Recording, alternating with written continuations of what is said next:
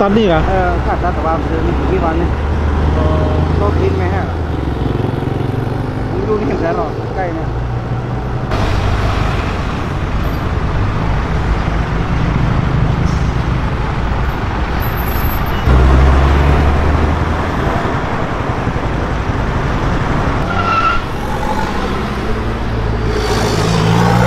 เตรียมเตรียมที่จะมาทำที่จะรักษามันใช่ไหม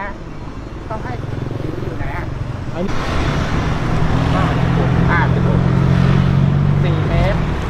สี่เมตรหกเซนต้มสดต้มสดหรือสดกดกดกดกดป้ายว่าจะมาทำอันนี้ยังมีโอกาสรอดไหมอย่างเงี้ยครับ มีโอกาสรอดอ๋อมันเก้า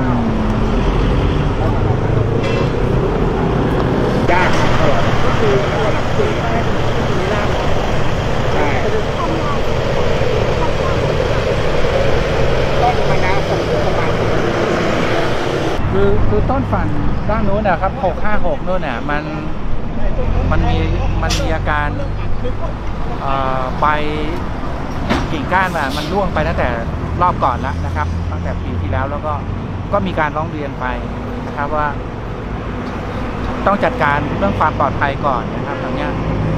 นี้หน่วยงานหน่วยงานที่ดูแลอยู่ก็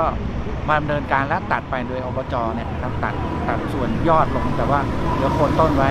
ส่วนต้นฝั่งเนี้ยนะครับหกหกเจ็ดหนึ่งเนี่ยออตอนที่มาสักเดือนมกราเนี่ยนะครับเรามาดูเนี่ยเรายังเห็นส่วนของเปลือกบางส่วนนะครับ บางส่วนของลำต้นมันเนี่ยมันมันยังดิบอยู่นะครับ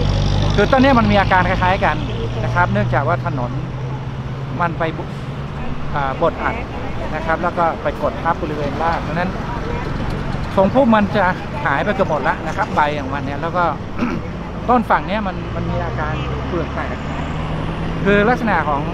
ของต้นไม้เนี่ยนะครับ เวลาใบมันร่วงไปหมดเนี่ยนะครับ เปลือกมันก็ดึงน้ำดึงอาหารขึ้นไปไม่ได้นะมันก็ทยอยทยอยซุดไป แต่มันยังมีส่วนที่พยายามจะพยุงตัวเองอยู่นะครับ เราก็หาหาวิธีการว่า ทำยังไงให้โคนต้นที่มันเหลือน้อยที่สุดเนี่ยนะครับ ให้น้ำให้อากาศลงไป แล้วก็เติมพวกสารอาหารนะครับ ใช้พวกฮอร์โมนเร่ง เราก็กะดูว่าประมาณสักสองเดือนหรือสามเดือนไปเนี่ย ถ้ามันมีโอกาสฟื้นขึ้นเนี่ย ต้นเนี้ยค่อยๆบำรุงไปนะมันจะขึ้นมา แต่บังเอิญว่าอาจจะมีคนไปร้องเรียนในหน่วยงานนะครับ ว่าเอ๊ะเห็นกิ่งมันแห้งให้ตัดลงมานี่ทางเจ้าที่เนี่ยก็ ก็ไม่ได้มาคุยกันนะไม่ได้มาคุยกับเราว่า เรากำลังดำเนินการที่จะฟื้นเรื่องเรื่องระบบรากมันอยู่นะครับ ก็เลยมีการตัดลงมา ซึ่งมันค่อนข้างสั้นพอสมควรนะครับนะฮะตัดตามที่เราเห็นเนี่ยทีนี้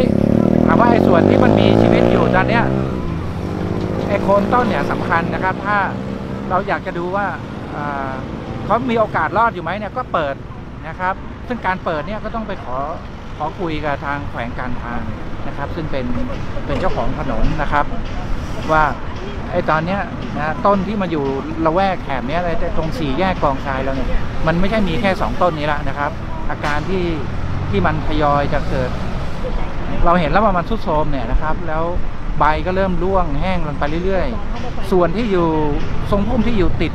ผิวถนนเนี่ยตอนนี้ใบแทบไม่มีแล้วนะครับ มันจะมีกิ่งก้านที่เลยออกมาทางด้านหลังถนนเนี่ยนะครับ ยังพอมี ก็อาจจะต้องเร่งพูดคุยหรือหารูปแบบให้ให้เขาดูก่อนนะครับว่า ถ้าจะช่วยในแถบนี้ต้องเร่งแล้วนะครับ เปิดผิวหรือขยายออกมาหรือมีโครงสร้างอื่นหมายว่าผิวเนี่ยอาจจะต้องมีการเปิดแล้วเปลี่ยนเป็นเป็นคอนกรีตที่มันปูนลึกพื้นปูนนะซึ่งพื้นปูนเนี่ยเราเราเสนอไปหลายวิธีนะครับว่าหนึ่งก็คือเปิดแล้วใช้ดินถมลงไป หรืออันที่สองเนี่ยนะครับ ใช้เป็นบล็อก นะครับบล็อกที่รับน้ำหนักได้พอสมควรเนี่ยนะครับนะอาจจะไม่ใช่รถบรรทุกหนักนะครับ แล้วก็ให้มันมีดินให้มันมีน้ำนะใส่ลงไปนะเติมอาหารระบุบบำรุงรากหรือถ้าให้ดีที่สุดเลยนะครับ ใช้แอดฟันหรือคอนกรีตทุนนะครับ ซึ่งตอนนี้มันมีเทคโนโลยีเหล่านี้อยู่นะครับ มันมีมันมีเอ่อ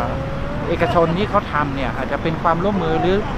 หรือใช้ถนนบริเวณจุดตรงนี้นะครับสี่แยกกองทรายเนี่ยเป็นการนำร่องว่า ถ้าเราจะฟื้นฟูแล้วไม่ให้เกิดปัญหาแบบนี้อีกเพราะว่าไม่งั้นหน่วยงานก็จะเห็นว่าพอใบมันร่วงก็ตัดทิ้งอย่างเดียวนะครับ ซึ่งมันต้องมีวิธีการอื่นที่จะไปแก้ตรงต้นเหตุนะครับ มันมีสาเหตุอยู่ตรงนี้